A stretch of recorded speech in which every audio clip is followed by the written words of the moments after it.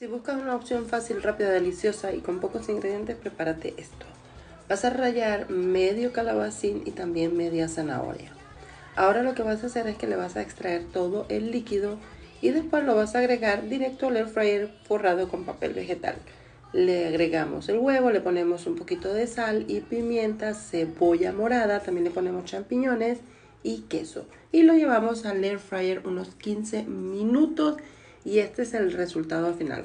Una cena o un desayuno fácil, rápido y delicioso.